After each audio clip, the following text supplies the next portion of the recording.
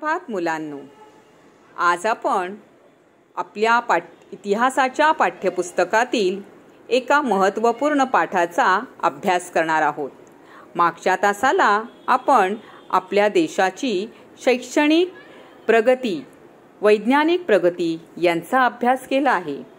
आज आपण महिला व अन्य दुर्बल घटकांचे सक्षमीकरण अभ्यासणार आहोत. मुलांनो सक्षमीकरण म्हणजेच स्त्रिया आणि जे दुर्बल घटक आहेत यांना शिक्षणाच्या संधी देऊन स्वावलंब जीवन जगण्यासाठी त्यांचा विकास घडवून आणला. यासाठी समाज सरकार आणि संविधानाच्या माध्यमातून कसे प्रयत्न केले गेले? कोणत्या योजना राबवल्या गेल्या? कोणते कायदे निर्माण केले गेले?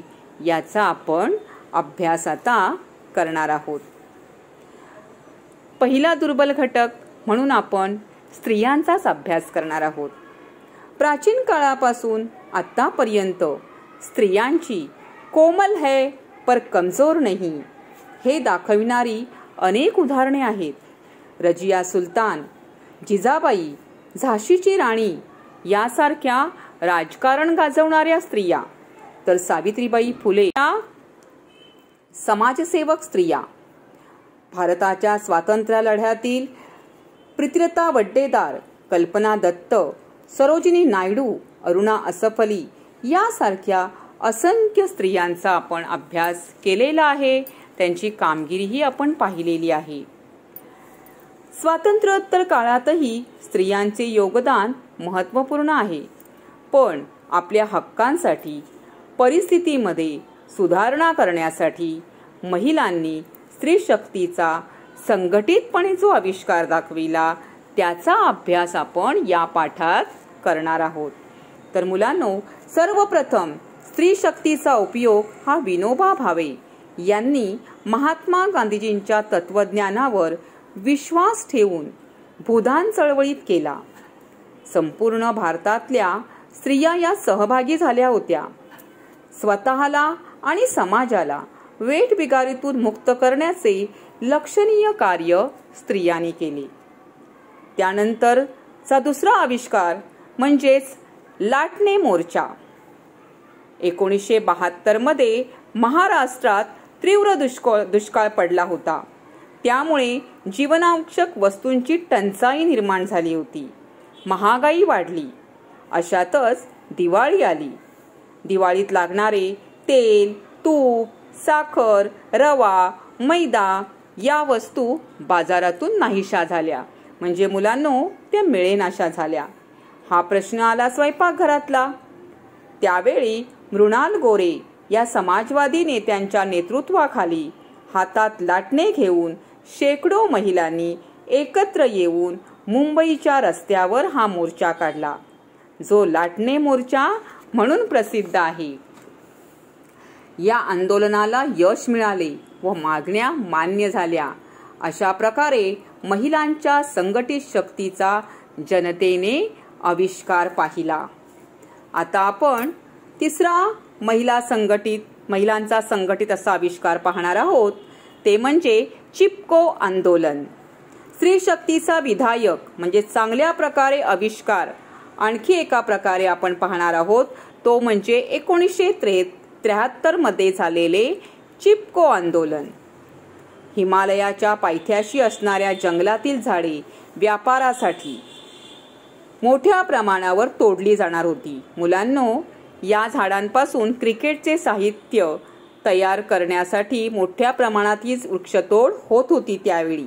या विरोधात चंडीप्रसाद भट्ट व सुंदरलाल बहुगुणा यांनी आंदोलन केले. स्त्रियांनी हातात हात घालून वृक्षाभोवती फेर धरण्याचे वृक्ष तोड होऊ नये म्हणून जंगलातील झाडांना मिठी मारून त्यांचा बचाव करणे असे आंदोलन केले. आणि म्हणून त्याला चिपको आंदोलन म्हणतात. आंदोलनात स्त्रियांनी मोठ्या प्रमाणात सहभाग घेतला. या परिसरात होणाऱ्या शेती व्यवसाय व्यवसायातही स्त्रिया मोठ्या प्रमाणात काम करीत. त्यामुळे शेतू शेतीतून निघणारे जे उत्पन्न आहे आणि त्यामुळे होणारा जो आर्थिक फायदा आहे यामध्ये स्त्रियांचा सहभाग मोठ्या प्रमाणावर होता. त्यातीलच एक गौराव गौरादेवी या कार्यकर्ती स्त्रीने स्त्रियांमध्ये जागृती केली आणि त्यांना सुदेशा देवी बचनी देवी यांनी मदतही केली आणि चिपको आंदोलनही यशस्वी केले. स्त्री शक्तीचा आणखी एक महत्त्वपूर्ण संघटित आविष्कार आपण अभ्यासणार आहोत.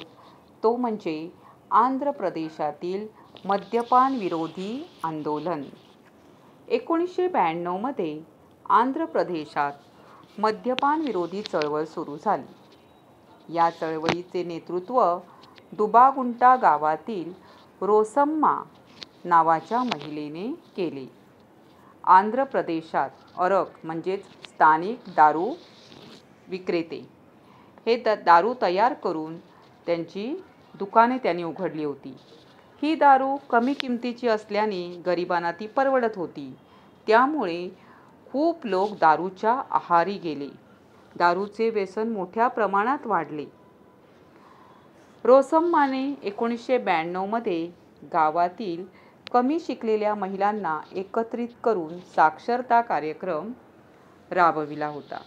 या कार्यक्रमात सीतामा कथा म्हणजे सीतेची गोष्ट सांगितली जायची.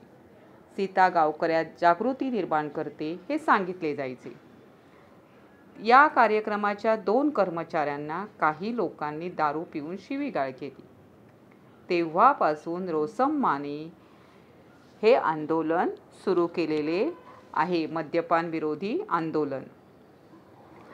आता हे मद्यपान विरोधी आंदोलन झाल्यामुळे त्याच्यात काही महत्त्वाच्या गोष्टी पुढे आलेल्या आहेत. पहा मद्यपान केल्यामुळे स्त्रियांना मारहाण केली जाते. त्यानंतर कमावलेले पैसे जे आहेत त्याचा जास्तीत जास्त भाग दारूवर खर्च केला जातो. अति दारू प्याल्यामुळे घरातील कर्त्या पुरुषाचा मृत्यू होतो आणि त्या कुटुंबावर मोठे संकट कोसळते. म्हणून या आंदोलनात रोसम्माच्या नेतृत्वाखालील स्त्रियांनी काय गोष्टी केल्या त्या पहा. हातात लाठी काठी व मिरची पूड घेऊन गावातील महिलांनी अरक म्हणजे स्थानु स्थानिक दारू विक्रेत्यांवर हल्ला करायला सुरुवात केली. त्यांची दुकाने बंद पाडली. आणि हे त्यांचं आंदोलन यशस्वी होऊ लागलं. दुबागुंटा गावातील महिलांकडून व आंध्र प्रदेशातील नेल्लोर जिल्ह्याच्या लोकांनीही प्रेरणा घेतली आणि त्यांनीसुद्धा अशा प्रकारे आंदोलनं सुरुवात केली. मद्यपान विरोधी चळवळीत सामील झाले अनेक लोक. ही चळवळ आजूबाजूच्या जिल्ह्यातही पसरली. त्यावेळचे आंध्र प्रदेशचे मुख्यमंत्री के. विजय भास्कर रेड्डी यांनी दखल घेऊन एक ऑक्टोबर एकोणीसशे त्र्याण्णवमध्ये अरक विक्रेत्यांवर बंदी घातली. मुलांनो अशा प्रकारे मद्यपान विरोधी आंदोलनही यशस्वी झाले. नो मागील भागात आपण चिपको आंदोलन महागाई विरोधीचं आंदोलन मद्यपान विरोधी अरक आंदोलन यांचा अभ्यास केला. सामाजिक प्रश्नांच्या सोडविण्या सामाजिक प्रश्न सोडविण्यासाठी महिलांचे संघटन कसे आकारास येऊ लागले? स्वतः जागृत होऊन महिलांनी समाज शासन यांना जागृत होण्यास कसे भाग पाडले हे आपण पाहिले. तुम्हाला असं वाटत असेल मुलांनो की अशी आंदोलनं फक्त भारतातच झाली का? तर नाही. अशी आंदोलनं पश्चिमेकडच्या देशांमध्ये युरोप खंडात अमेरिकेतही झाली आहेत हे लक्षात घ्या. तेथील महिलांनाही आपल्या हक्कांसाठी संघर्ष करावा लागला. आठ मार्च अठराशे सत्तावन्न रोजी अमेरिकेतील न्यूयॉर्क शहरात कामकरी महिलांनी मोर्चा काढला. कामाचे तास कमी करून योग्य मोबदला मिळावा इत्यादी मागण्यांसाठी निघालेला महिलांचा हा पहिला मोर्चा होता. या मागण्या काही पूर्ण झाल्या नाहीत. मग आठ मार्च एकोणीसशे नऊ रोजी पुन्हा या मागण्या घेऊन मोर्चा काढला. यावेळी संपही केला. अशा प्रकारे आठ मार्च हा महिलांच्या लढ्याचा दिवस म्हणून जाहीर झाला. संयुक्त राष्ट्रसंघाने एकोणीसशे पंच्याहत्तर हे आंतरराष्ट्रीय महिला वर्ष म्हणून जाहीर केले आणि एकोणीसशे सत्त्याहत्तरमध्ये आठ मार्च हा दिवस जागतिक महिला दिन म्हणून जाहीर केला. या हा दरवर्षी आपण आठ मार्च महिला दिवस म्हणून साजराही करतो.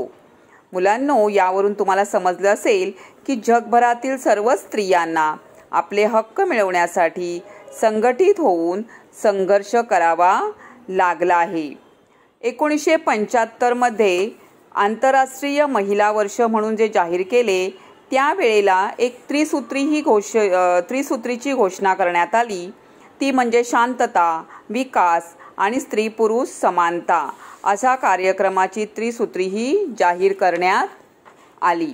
त्यानुसार भारतानेही एकोणीसशे पंच्याहत्तरमध्ये डॉक्टर फुलरेणू गुहा यांच्या अध्यक्षतेखाली महिला आयोगाची स्थापना केली आणि या महिला आयोगाने महिलांचे स्थान दर्जा स्त्री शिक्षण शि स्त्री शिक्षणाची टक्केवारी समान वेतन रोजगाराच्या संधी जन्म मृत्यू प्रमाण या बाबतीत परिस्थितीचा आढावा घेतला. तसेच प्रयत्न महाराष्ट्रातही सुरू झाले. महाराष्ट्रातही स्त्री मुक्ती संघर्ष समिती औरंगाबादमध्ये स्त्री उवाच मैत्रीण स्त्री अन्यायाविरुद्ध मंच कोल्हापूरमध्ये महिला दक्षता समिती नाशिकमध्ये महिला हक्क लातूरमध्ये नारी प्रबोधन मंच हुंडा विरोधी संरक्षण समित्या धुळे येथे स्त्री अत्याचार विरोधी परिषद अशा विविध संस्था स्थापन झाल्या. सौदामिनी राव यांनी पुण्यामध्ये ही संस्था स्थापन केली. विद्या बाळ यांनी नारी मंच नारी समता मंच आणि मिळूनी साऱ्या जणी ही नियतकालिके व समाजवादी महिला संघ सभा क्रांतिकारी महिला संघटना यांचेही कार्य स्त्री प्रश्नांच्या संदर्भात महत्त्वपूर्ण असे ठरले. आहे. समाजात जागृती आणण्यासाठी ज्योती म्हापसेकर यांनी मुलगी झाली हो हे पथनाट्य. प्रेरक लरकारी हे मुखपत्र सुरू केले. त्यांचे कार्यक्रम शहर गाव अमेरिका इथे साज स इथे साजरे होऊ लागले. पथनाट्य म्हणजे मुलांनो लक्षात घ्या की रस्त्यावर हे नाट नाटक केलं जातं. आणि ते काही मिनिटाचं असतं. इथे वेशभूषा वगैरे महत्त्वाची नसते. तर समाजात लोकांच्या मनात जागृती निर्माण करण्यासाठी हे नाटक रस्त्या रस्त्यांवर साजरं केलं गेलं. मुलगी झाली हो. म्हणजे मुलींच्या ज्या लहानपणीच हत्या होत असत. हुंड्यासाठी मुलगी आपल्या कुटुंबात जन्म होऊ नये अशी प्रार्थना असे नवस केले जात असत. तर ह्या सगळ्यातून जागृती लोकांच्या मनात निर्माण व्हावी यासाठी ज्योती म्हापसेकर यांनी खूप चांगल्या प्रकारे प्रयत्न केला होता आणि तो त्यांचा प्रयत्न यशस्वीही झालेला आहे. त्यानंतर प्रमिला दंडवते यांनी दिल्लीत एकोणीसशे शहात्तरमध्ये महिला दक्षता समी समिती स्थापन केलेली आहे. आणि भारतातील पहिले महिला विद्यापीठ श्रीमती नातीबाई दामोदर ठाकरसी महिला विद्यापीठ मुंबई टाटा समाज विज्ञान संस्था मुंबई सावित्रीबाई फुले पुणे विद्यापीठ शिवाजी विद्यापीठ कोल्हापूर येथे स्त्री अभ्यास केंद्रे स्थापन करण्यात आली. म्हणजेच पहा की स्त्रियांच्या प्रश्नांना वाचा फोडून स्त्रियांबद्दलचा दृष्टिकोन बदलून त्यांना उच्च शिक्षणाची संधी प्राप्त करून देण्यासाठी विविध पातळ्यांवर प्रयत्न झाले आणि स्त्रियांचे सक्षमीकरण करण्याचा प्रयत्न मोठ्या प्रमाणावर झालेला आहे.